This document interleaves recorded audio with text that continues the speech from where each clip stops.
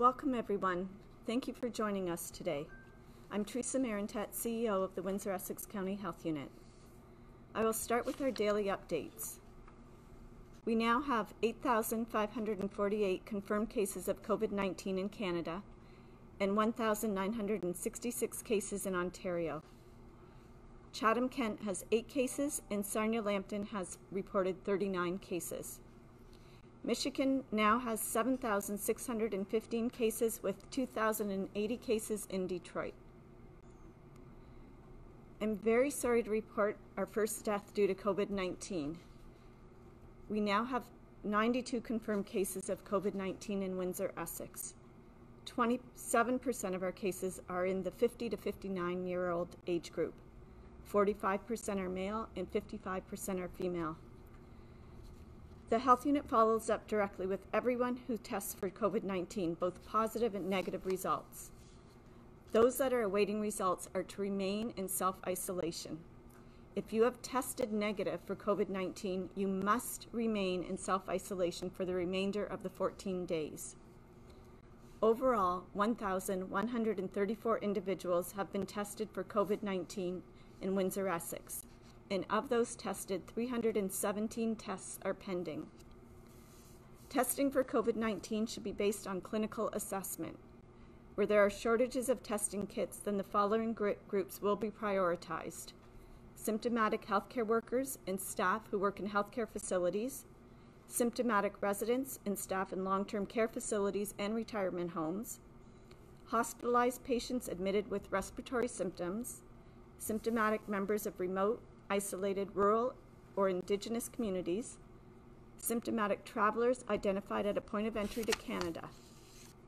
Please cont continue to visit our website at wechu.org for the most current information and case counts. Many of our frequently asked questions are posted on our website. If you are feeling unwell and need to seek a health assessment for COVID 19, there are three options. Complete the online self assessment tool, contact Telehealth Ontario, or call your primary health care provider for a phone assessment or a virtual assessment if that's available. They will guide you for next steps, including contacting public health or attending an assessment center. I will now turn it over to Dr. Wajid Ahmed, our Medical Officer of Health, for further updates regarding COVID 19.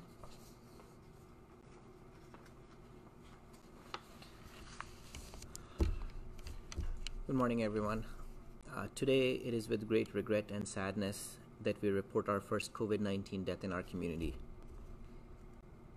The deceased was a male in his 80s with underlying chronic conditions, admitted to the hospital with respiratory conditions, and he was soon transferred to ICU where he died last night. The, the deceased traveled to Michigan before developing symptoms. We recognize that this is a very difficult time for the family of the deceased, and my thoughts and prayers are with them. Seeing tra tragedy in our community now made the threat real for many of us in our community. I will urge all of you not to panic, but to stay calm and follow the public health recommendations all the time. Please, please, I urge you not to go outside if you don't have to. If you do go outside, always maintain a distance of two meters from each other. Look after your family members. Look after your neighbor support them while still maintaining the two meter distance. People with comorbidities are at a higher risk of developing severe complications from COVID 19. If you are someone with a weakened immune system, either as a result of your age, any history of medical conditions such as cardiovascular disease, respiratory disease, diabetes, cancers, etc., please do not go outside at all. Have someone bring your groceries and essentials and drop it off at your doorstep do not interact with anyone in, in, in person. Please stay connected with your friends and family using technology and social media. We must act now and must act together to protect the spread of COVID 19 in our community and prevent some of these deaths that are happening in our community. Break the chain of transmission. That is, people who may have COVID and are symptomatic, even if you're waiting for your result, even if you are hoping to get tested, Stay home, self isolate, and break the chain of transmission and do your part.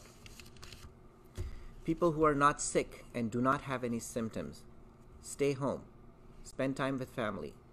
Do not meet anyone who doesn't live with you and break the chain of transmission by not contracting the disease and not spreading it to others. People who are essential workers, please follow the guidance to, to work safely while still maintaining your 2 meters distance from everyone. Wash hands frequently and often or using an alcohol based hand sanitizer. Use appropriate personal protective equipment depending on the nature of your work as per infection prevention and control guidance. Break the chain of transmission by not contracting it in the first place, and even if you end up in contracting the disease, by maintaining the physical distance of 2 meters, you are not spreading it to others and breaking the chain of transmission in the community.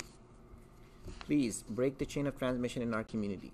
Save yourself, save your family, save your loved ones, save your neighbor, save your parents and grandparents, save the community. Please break the chain of transmission. Please be safe, do your part in protecting your community, break the chain of transmission. Thank you. Questions from the media. We'll start with CTV. It's not really a question. I think now it's now it's real. I'll just start with the statement. How does that make you feel? It is. Uh, it is. It is sad. It is. Uh, it is making the risk more real, and people who are not realizing the potential impact of what they are facing, they should open their eyes now, and they can see that it is happening in our community. We have seen it across the world, thousands and thousands of people dying. We definitely don't want it in our community. We have to do our part. We have to do everything to prevent the spread of the disease in our community. Uh, Dr. Ahmed, uh, the White House uh, yesterday held a press conference with a remarkably grim tone. The, the, the task force is predicting 100,000 to 240,000 deaths in the U.S. Uh, related to COVID-19. What kind of impact uh, do you expect in the Windsor-Essex region? Well, based on the various modeling that has been put out there by uh, different epidemiologists, uh, I think there's it's no secret people will die. I think it's only a matter of how many of them die and how many of them can be saved by taking all these measures. The government of Canada has been proactive in many ways to put these strong measures in place, but people need to follow those measures. If people are not following those measures, those measures won't save us. I think it is us who will save us and our community. We have to do our part, and we if any any death we can save, that is a gift to the community. When we are talking about the number of people who may potentially die, the number could be in hundreds, could be in thousands, depending on how people are reacting and how we people are following. We will be providing more details with respect to specific, like the number that is projected based on the various modeling uh, in a couple of days, working with our epidemiologists. But the idea again is all these models and projection are based on certain assumptions, certain behaviors, certain uh, uh, ways that people are following those assumptions. If people can change everything, if we strictly follow it, we can reduce the number. We can reduce the number by hundreds, by thousands. If we're not following it, we can increase the number by hundreds, by thousands. So I think it is in our hands. It is all of us. It's not just me. It's not just the hospitals. It's not just the politicians. It is all of us. We have to take our part. We have to do our part to save those lives. Any questions from CBC? Yeah, I'm just wondering if you could break down um, from the total number, how many of these are travel related, how many are community uh, transmissions, how many are in hospital, and how many are healthcare workers? I know that's a loaded question, but I know you did that yesterday. Um, so um, we are uh, updating our data pretty much every day, and uh, I think it would be uh, redundant to report it every day. We'll try to report it every few days just to give you more details. But from what we reported yesterday, uh, based on the analysis of 44 cases, we did further analysis on the 65 cases that we reported yesterday, um, uh, as as confirmed. The numbers didn't change much still we have 70% of the people with uh, a travel history and among those who travel there's 70% of them travel to michigan and uh, at least still the, the, the cases that we have report on still one third of them are healthcare workers uh, traveling uh, across the border and I'm, and I'm not blaming any of those healthcare workers for doing the job that they are doing. I think they're doing an excellent job. This is what they're trained for. This is what they're passionate about. That's that's that's what their passion is to save lives, to help people who are suffering. Detroit has seen a number of cases in their community, and they really need those people. What we want to identify is what's our risk to our community and how we can minimize that risk to our community. So, uh, having said that, I think we'll continue to um, analyze the, the, the reports as we are getting it, and we will report it um, every few days uh, by summarizing all those details on, from those cases. Just as a follow up to that, um, yesterday we received a statement from the CEO of the hospital, David Musyj, uh, about our border story uh, that we worked on yesterday. And he, I think you just touched on it, but he wrote to us and said that he's concerned about those who are advocating for further restrictions on Windsorite uh, working in Detroit healthcare because it'll hurt the Michigan uh, system and, and they can't afford the loss of healthcare workers. And, and this is a quote here, I'll just read it to you and I'll get you to respond. Continuing to indicate daily the number of Windsorites who work in healthcare in Detroit and their positive COVID 19 results is not appropriate healthcare workers are not immune to COVID 19. I'm wondering what you think about that perspective. Well, my job as the medical officer of health is to protect my community. The community has given me this task, and my recommendation is to my community, as respectful and as concerned I am about the spread of COVID 19 around the world in various community, but I have a job to protect my community what my recommendations or what my thoughts are is in the best interest of my community. I'm not concerned about what is happening outside of my community. Yes, as a broader scale, I am concerned if it is an if it has an impact. But if there is anything that we as a community need to do, that's where my focus is. I'm not concerned about what people are thinking about these recommendations and how it will affect anyone. My concern is how it will affect my community. What do we need to do to protect my community? That's where my recommendations are coming from. That's where my, heart lies. And that's what I will continue to focus on. And I'll continue to report on the issues, continue to make recommendations to protect my community.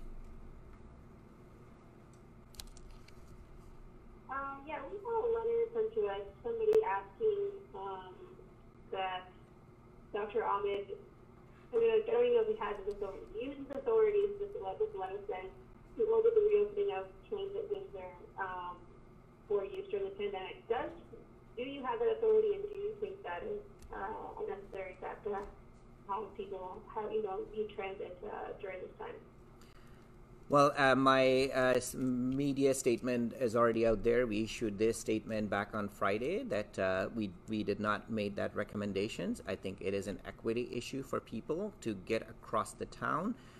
They recognize that they they will be at risk by taking those transit, but they have limited options. If they do not own a car, if they do not uh, have anyone who can drive them around, they we are putting those individuals at risk by not giving them an opportunity to get the essentials that they need. If they want to rely on someone else to move them around it is also a risk. So i think we have to carefully balance the risks and benefit just like the same way we're talking about all these essential businesses. In an ideal world yeah if we can just all shut them down we could but recognizing that people need to still need to eat people still need their medicine people still need to to do things to maintain the basic societal uh, need. Electricity needs to running uh, uh, water needs to come to our tap. So all those things are essential. And as much as we like to see strong measures we also have to balance it with what is needed for everyone in the community in the better interest of everyone. So i think if people are following some of those directions they can still protect themselves and they and we should be focusing on those measures without causing any undue hardship or harm to any individual. Okay, just to follow that, but do you have the authority to order Transit Windsor to continue operation? Uh, unfortunately, no, I do not have the authority to have them open the okay. transit. Okay. Yes, I do. Uh, the deceased who passed away, do we know when he was admitted to the hospital and when he went to Michigan? Um, some of these details we are still investigating. We um, all I can say is the deceased traveled to Michigan before developing symptoms, and then um, uh, presented to the hospital and uh, was later admitted to uh, the hospital and uh, ended up in an ICU bed where he died. And he was taken to the hospital because of his chronic injuries, or was it partially chronic and COVID symptoms?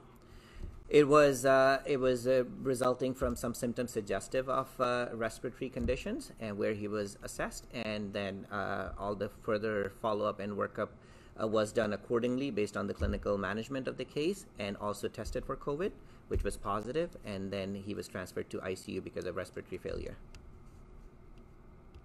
We had our first case in Windsor, Essex on March the 20th, um, reporting our first death on the 31st. Um, the chief of staff said that we all knew this was going to happen. Did we expect it to happen within a week and a half, 10 days? Um, any, any comment on that? Well, it's hard to say depending on who is contracting the disease, and uh, some people are at a higher risk of uh, developing more severe complications and uh, uh potentially dying. Uh, so it really depends on who is contracting it the messaging, the control measures that we are trying to put is to protect those vulnerable people. And my message today is also to those individuals still if they haven't heard it before, if they have any kind of chronic conditions, if they ha- if they are um, uh, immunocompromised for any reason, either by by their age or any medical condition, they should just not go outside. Period. Just stay home. Now is the time where the disease is circulating. There are many people out there in the community who can poten- who are potentially infected with COVID. We would never know. They may be at an earlier stage of symptoms and may not even re- uh, recognize themselves and can still transmit the infection. So that's why some of these high risk population they should just limit or uh, eliminate any need for any physical interaction with anyone. Stay home have someone deliver your essentials, your groceries, your medications, anything that you need at your doorstep. Do not interact with them. Do not connect with them. Try to be more social by using social media. Facebook, Skype, there are so many technology out there that people can use to stay connected. It is also important for people to be socially connected, but physically distanced. So I think we need to do that. And unless we do it, we won't break the chain of transmission and we have to break the chain of transmission to limit the number of cases and the uh, morbidity and mortality in our community. Any Uh, questions? another just general question. Uh, we heard what was happening at the retirement home in Bobcaygeon. Do we know of any outbreaks locally at long-term care homes or retirement homes at all, or no? At this point, there is no retirement home under COVID outbreak. Um, there are retirement homes who are in some kind of respiratory outbreak, which is typical for this season, but we do not have any uh, uh, uh COVID 19 outbreak in our region. That's good to hear. Thank you. Any questions from windsorite.ca? Pardon me? Any other questions from the media? I have one. Oh, CTV? Yeah, we talked about uh, the gap in the test results earlier. You know, it, it's, you know, at first it was four days, then it went up to like 10 to 14 days. Um, where are we now? And, and is that picture becoming more real time than it has been in the last few days? So, um, so there are now multiple labs that are operating at this point to test for COVID. Uh, our main lab now is London Lab, and uh, London Lab is now focusing more on prioritizing those uh, individuals who are currently being tested. Um, and some of those tests, uh, at, uh, as Theresa, Theresa mentioned, that there are some of these priority group that who are prioritized for testing. So anyone who is under that priority we expect to get the results back within 24 to 48 hour maximum. And in some time some cases it's coming back in 24 hours. So that's a good news. But on the flip side for someone who has mild symptoms those individuals the direction could be that don't bother t- getting tested because your clinical management will not change based on your diagnosis. So if you are positive the recommendation would be stay home, self isolate yourself from your own family member and also from the rest of the community. if your severe, if your uh, if your symptoms get severe, then you got to come and see a, a doctor or get some additional workup done because what happens with with COVID in in the clinical situation is people can deteriorate very immediately. So especially if they have any chronic conditions or if they, especially if they're old. So people can just quickly go from one end of the spectrum to the other. So if their symptoms are getting worse and it's not getting better, that's the time that we would want to test those individuals to make sure that we are not missing any of those things. But for the majority, now it's out here. You may be asked to say, hey, just go home, monitor your symptoms, stay home, self isolate, do not go outside, do not do anything. And when we're talking about this chain of transmission, I think people need to recognize that that is the most important thing that they can do. Even if at your workplace, you are working with other colleagues, and there may be some concern that if someone is uh, uh, gets positive, then am I at risk? If you're still following the two meters distance, your risk would be pretty much zero because you're not coming in that close contact range to contract the disease. If you are working in the same environment, it puts you at a higher risk, but it's still, if you're maintaining that, you're reducing that risk. Just follow those directions. It is in the best interest of yourself, your family, and also for the community. Okay, um, I, I, online last night, people were sending me stuff. Uh, one of them was, you know, the testing labs, right? We talk about real time and, you know, getting everybody up to date as soon as you can. Uh, the lab testing, you know, you said that, you know, everything's being sent to London. Um, people have said that, you know, why, are asked, why aren't we using the University of Windsor for testing like that, you know, as a lab? So uh, first of all, I don't make those decisions which labs are open and which lab could test. Uh, what I know is uh, these type of test requires specialized labs that is not available at least at the Windsor Regional Hospital. I'm not fully aware of what kind of lab exists at Windsor, uh, University of Windsor. But if they do have the capacity, I think there are ways that they can connect with the public health uh, labs and the ministry to put up a case that if they are capable and if they meet that criteria to be uh, designated as a lab, then why not? But I think those criteria are not as easy to meet uh, because of certain requirements. Those are our level three, level four labs, and it has to meet a very strict criteria. If we can get something, great. But until then, we still have to rely on what uh, uh, existing labs we have. Any que- other questions from the media? Yep, I have a question if there are any plans to open up any further assessment centers anytime soon. Um, I'm not aware of that. Uh, I think our assessment center is uh, operating um, at a fairly steady pace, and uh, there is no indication uh, at this point that uh, um, that they will be opening up uh, more centers. There's a capacity to open it, but I think it really depends on our capacity to test those specimens as well. So I think it's just the balance. And um, as I said, most in most cases, most individuals especially at this time, may not even be uh, get tested if they have mild symptoms. So I think the focus is now more on how do you prevent this spread and test only when you your clinical management would be different if we test you. For most, 80% or more people will recover on their own at their home and they do not require any medical treatment. Thank you. And I have one more question, if that's okay, just about uh, transit. Now that transit is no longer available to a lot of people, um, they're having to turn to taxis or Ubers. And I'm just wondering if there's anything that the health unit can oversee where that's concerned to make sure um, that these vehicles are being cleaned and sanitized appropriately. I'm wondering how that's being enforced. So that's uh, that's uh, that's a challenge. We we we we got that uh, um, letter, uh, and from what we can see is there are things that we can we can make recommendations to to protect those people if they are using these type of private transport, and we will be we will be providing some recommendations around that. Oh, when will that happen? Uh, soon, uh, maybe today, uh, at some time today. Okay, thank you very much. Okay. All right, thank you very much. And again, it's uh, with great regret, um, uh, and people should pay attention and should follow the uh, the directions. And please break the chain